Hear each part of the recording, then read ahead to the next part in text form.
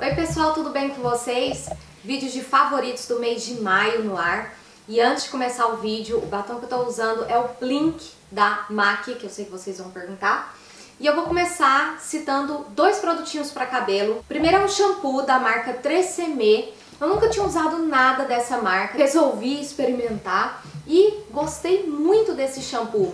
Ele tem todas as características que eu gosto. Em um shampoo, ele é transparente, ele faz muita espuma, eu sinto que ele limpa muito bem o meu cabelo, o cheiro é delicioso. Comprei essa versão aqui grandona de 810ml, quase um litro, e o meu é cuidado clássico, com multi, com multivitaminas. Ele é para todo tipo de cabelo e ele é muito bom, gostei demais desse shampoo aqui por todas essas características que eu falei pra vocês. O próximo produto para cabelo é esse olhinho da Kerastase, o Elixir Ultime.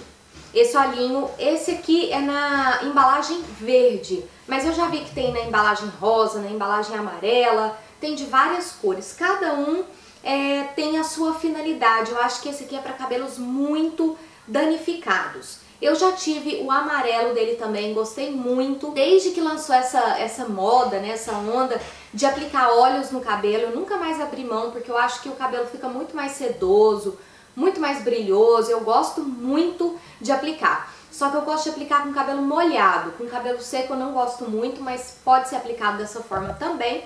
E esse olhinho é maravilhoso. Gostado demais. Uma pena que Kerastase a gente encontra apenas em salões de beleza, não é tão fácil assim de encontrar, mas é um produto espetacular. O próximo produto é um pra corpo, é um esfoliante de uma marca The Body Shop, que uma vez eu comprei um esfoliante lá, o Coca Butter, e gostei demais, porque ele é bem agressivo, assim, eu gosto de esfoliantes bem é, consistentes, agressivos mesmo, não sei se é essa palavra. E você sente que tá esfoliando mesmo. E aí eu passei por lá e o de pêssego estava de promoção e aí eu resolvi comprar. Gostei muito, ele é muito bom, ele esfolia muito bem, ele é muito cheiroso, quem gosta de, de cheiro assim de pêssego vai gostar muito. Ele tem umas partículas, né, para esfoliação, só que não são tão grossas como esse Coca Butter que eu falei pra vocês. É um produto muito bom, gostei mesmo, usei muito no mês de maio, mas se fosse pra recomprar, eu compraria o Coca Butter. O próximo produto de corpo é esse gel de banho, mesmo kit do perfume Lola do Marc Jacobs. Eu ganhei um kit com perfume e o gel de banho e deixei esse gel de banho completamente esquecido. Aí agora eu peguei pra usar e, gente, tô adorando. Fica muito, a gente fica muito cheirosa mesmo.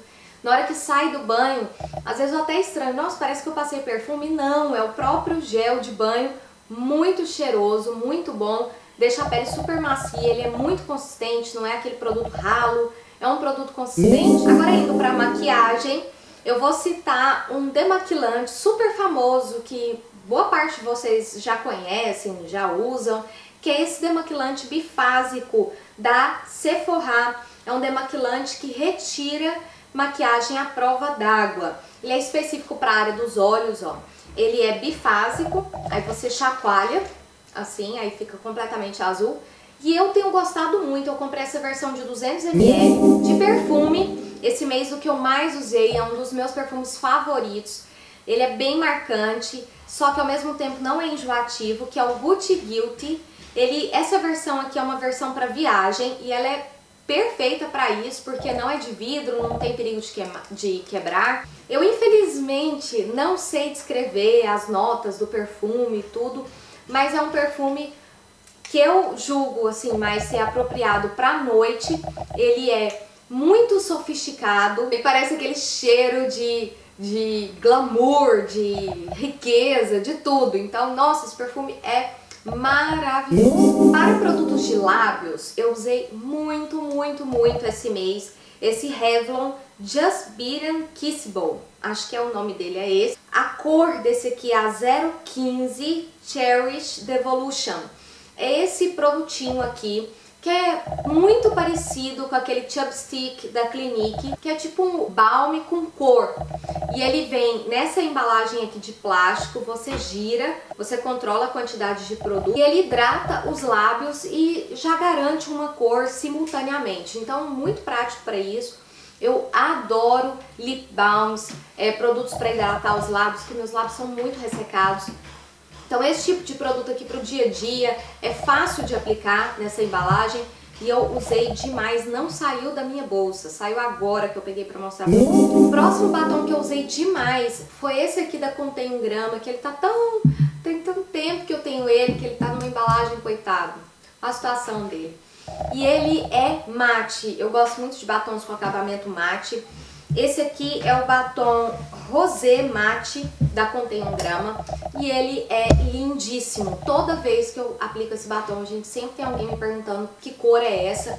E de fato ele é muito bonito, a cor é bem coringa, bem assim, básica para tudo, dia a dia, qualquer cor de maquiagem, ele tá valendo, que ele é muito bonito. O próximo produto também é para lábios, esse tipo um gloss se chama Rouge Infusion da Sephora, com esse nome diferente. Ele é da cor Cherry Nectar, número 12. Os nomes todos vão estar lá no blog, aqui no box de informações aqui embaixo. E ele tem esse aplicador de gloss, a cor é lindíssima, gente, como eu acho lindo esse batom.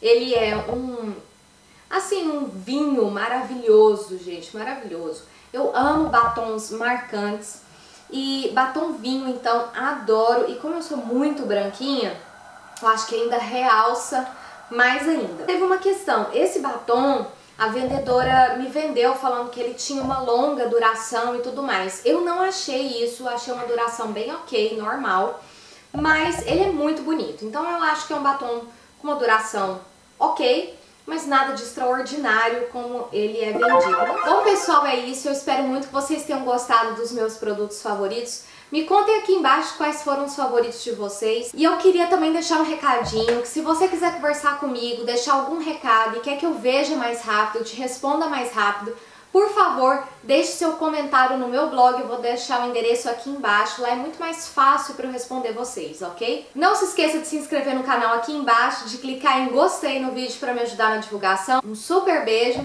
e até o próximo vídeo. Tchau!